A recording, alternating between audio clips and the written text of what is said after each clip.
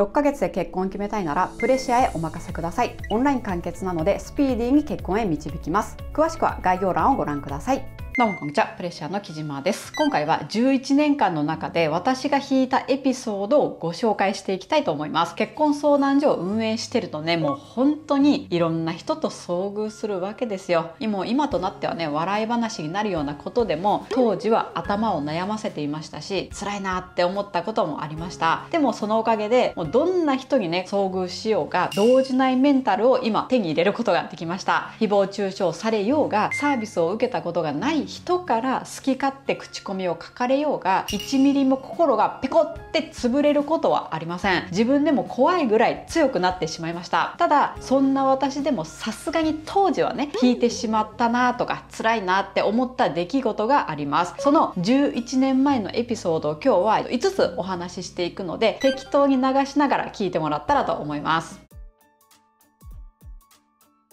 まず一つ目は、振られたらすっごいすねる。広島弁ではすねることをね、ハブてるって言うんですが、もうね、婚活しててもすぐハブてる人いるんですよ。例えばね、お見合いを申し込んで、全員から断られただけで、もう婚活やめるこんな屈辱味わったの初めてだってすねちゃって、もうプンプンしちゃう人。かと思ったら、美人とお見合いが決まり、すっごい上機嫌になって、もう木島さんのおかげですよ。あ、先生とお呼びした方がいいですね。こんな美人とお見合いが決まるなんて人生の中で一一番幸せな日です。って調子のいいことを言ってきます。でもお見合い後その美女からお断りが入ったらまたねはぶててしまって結婚できる気がしない。世の中の婚活女は全員高望みしてる。ってもう文句タラタラです。50代なのに20代女性を狙っていたあなたが言うことじゃないし高望みっていうんだったらあんたの方でしょうがって話なんですがまあね喜怒哀楽が激しい人でした。こんなに分かりやすく上機嫌になったたり不機嫌になるって人っているんだなって私自身が勉強になりました。婚活の結果によって一喜一憂しているようではもう気持ちが持ちません。真剣交際に入るまでは過剰に喜ぶことは控えるべきです。淡々とやるべきことをやり続ける人が短期間で結婚できていちいち一喜一憂して一人で大騒動している人ほど感情の浮き沈みも激しくなるので早々に疲れ長い休暇に入ったり婚活をやめがちです。だからこそ婚活はもう淡々と進めていくべきです。私が引いたエピソードその2担当者に牙を向く。婚活カウンセラーは会員さんと一緒に結婚を目指す伴走者です。それなのにそのカウンセラーに対して牙を向く婚活者がいます。これはあるあるなので私以外でも経験しているカウンセラーさんはたくさんいると思うんですがこれで参ってしまって結婚相談所を実際に閉じてしまう人もいるぐらいなんですよ。例えばあなたって私のこと嫌いですよねって言ってきたりとかこんなにお見合いが決まらないなんておかしいじゃないですか。お相手に取り継いでくれてないんじゃないですかって言ってくる人もいます。なんでねそんな思考になっちゃうのかよくわからないんですが自分の婚活がうまくいかないの誰かのせいにしたくなるのかもしれないですね。じゃないともうやってられねえよみたいな感じでしょうか。でもこういう方に限って絶望的なほど高望みをしているケースもあるんでお見合いが決まらないのはおめえのせいだよってストレートに伝えるとね発狂しちゃうんで、まあ、それもできないわけです。そんな状態で何ヶ月も攻撃的な言葉を浴びせ続けられると婚活カウンセラーといえど参っちゃうんですよね。会話ができればいいんですがこんな状態の人はもう会話すら成立しません。それにカウンセラーであっても皆さんと同じ人間なんでそりゃ会員さんによっては合う合わないはあるしこの人苦手だなって感じる人もいます。で私も正直あるし過去会員さんを受け持っていた時はありました。いないですよ。って言う方が嘘になっちゃいますよね。だから内心苦手だなって思っててもお金をいただいてる以上やるべきことは淡々とやっていきます。人間なのでもちろん好き嫌いはあるけどだからといってサービス内容に差が出ることはないようにしていました。っていうのは嘘です。ごめんなさい。やっぱりね応援したくなる会員さんにはどうしても気持ちは入ります。それはもうね仕方ないです。もうなので許してください。だって婚活をしているのに結婚できないのはお前のせいだってことあるごごとにブスブスナイフでめった刺しにしてくる会員と私が婚活をできているのはあなたのおかげです。本当にありがとうございます。でお礼を伝えてくれる会員ではその人に対する思いって当然異なりますよね。ブスブス刺してくる会員にはもうこれ以上刺されたくないからこちらもね盾を準備して壁を作ってしまいますがお礼を伝えてくれる会員には壁を作る必要はないのでハグができちゃいます。でその差はもうゼロ距離ですよ。ハグできる会員と盾を準備して壁を作らなきゃいけない会員。接し方が変わってしまうのは当然ですよね。入会時はあんなににこやかだったのに。こんな牙をむき出しにして襲いかかってくる人いるんだ。やっぱり怖いなって人間の怖さを実感した出来事となりました。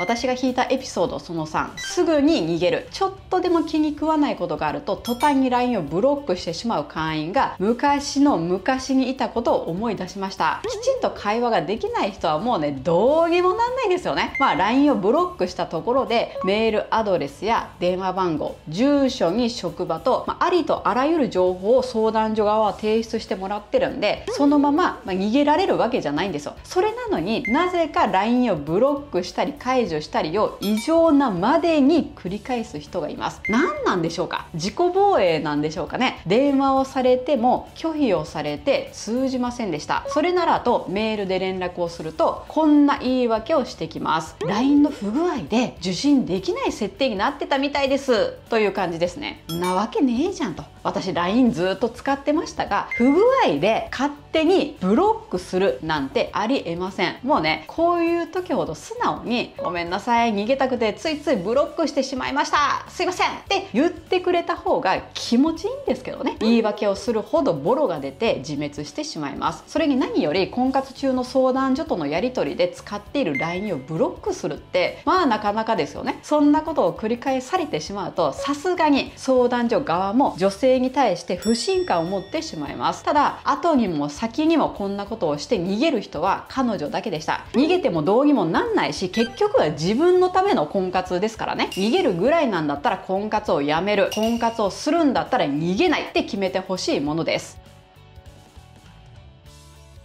私が引いたエピソードその4違約金を踏み倒す。これはお見合いが決まったお相手側の結婚相談所からされそうになった話です。お見合いが成立すると通常は1週間から10日程度で会う日が決まるんですがお相手の女性の仕事が不定期で休みがまだわからないっていうことで2週間ほど保留にされました。でようやく連絡あったんですが明日の14時からどうですか？っていう非常に唐突な提案でしかもその明日っていうのはは土平日です。男性は土日休みだって知ってるはずなのになぜ平日の日中で行けるって思ったのか今でも不思議に思います。当然男性からは明日は仕事なので難しいです。1週間以上前なら平日でも有給が取れるんで余裕を持って提案いただければ合わすことできますよっていう返事でした。でそれをお相手側に伝えるもいやいや休みはギリギリにならないとわからないって言います。こちらは土日祝ならいつでも OK で平日は1週間前に行ってもらったら取りますよっていうスタンスで接していたんですがそんなのギリギリにならないと分かんないし自分でコントロールできるもんじゃないとしか相手側は言ってきません。いやね今までお見合いが決まった人とはその女性ってどうやって会ってたんでしょうね。前日にならないと休みが分かんないなんてさすがに婚活に不向きとしか言えません。一体どんな仕事なのか逆に気になってしまいます。結局予定が合わずお見合いは白紙にしてほしいと言われたんでルールにのっとって違約金の請求したところそれはひどいって言われてしまいました。ひどいってねこれだけ時間を奪っておいて今回の話は白してで済まされると思っていたのが驚きです。この時は連盟本部に確認してもらって違約金が発生する案件だから払うようにと相手相談所へ通達していただきました。これ当時は違約金踏み倒す相談所なんてあるんだって驚いたんですが11年間結結婚相談所やってるとちらほらねそうした相談所に遭遇いたします。で大きいところっていうのは全く問題なく違約金払ってくれるんですが当時は小さい相談所ほどその違約金の支払いを渋ってくる相談所が多かったように思います。まあ昔に比べるとね今は改善されたと信じたいですがこういう相談所があったっていうのは事実です。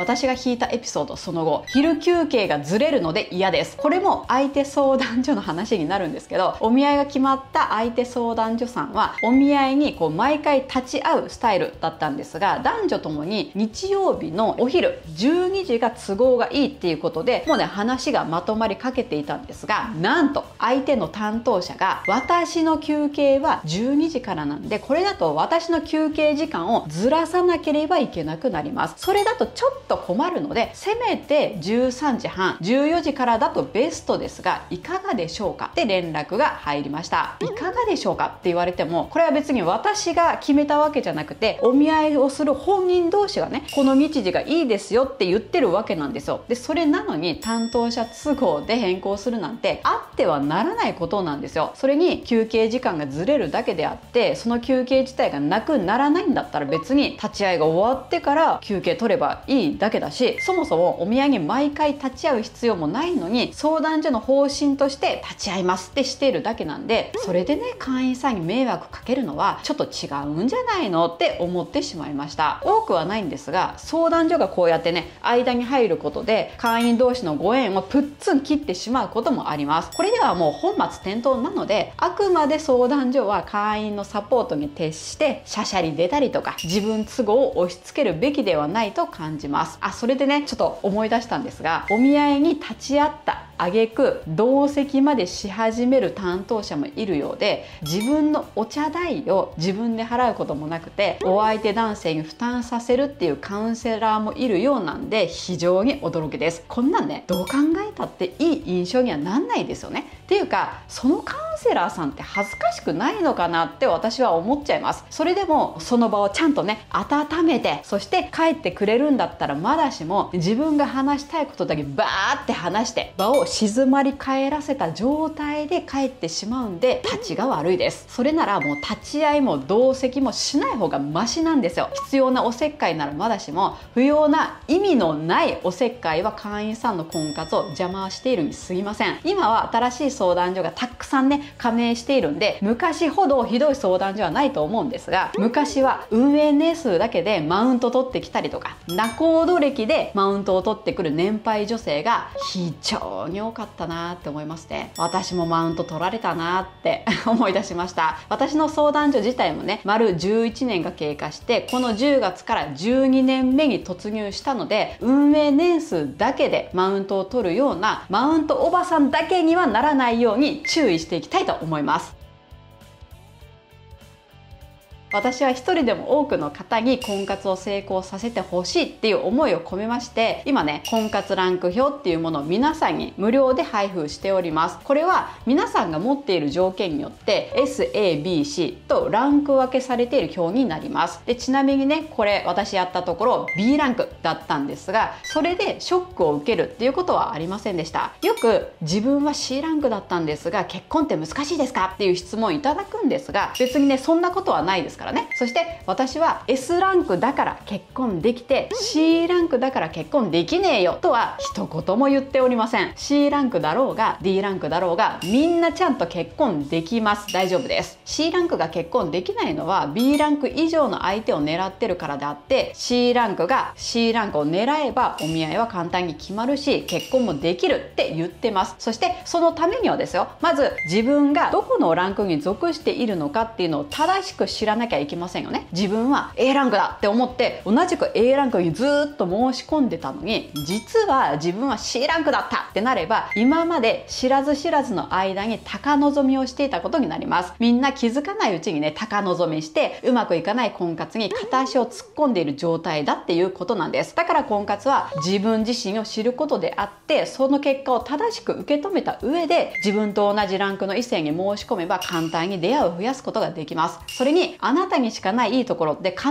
ずあるはずだしそれを魅力的だって思ってくれる異性を探す活動こそが婚活なわけです。だから不利な条件持ってようが C ランクだろうが希望する相手さえ間違えなければみんなちゃんと結婚できます。だから大丈夫です。無料配布中の婚活ランク表まだ受け取ってない方いますでしょうか？すでに1万9000名以上が受け取り利用されている婚活ランク表。配布が終了しないうちにお受け取りください。受け取り方法は動画下の概要欄でご案内しております。ということで本日もご視聴いただきありがとうございました。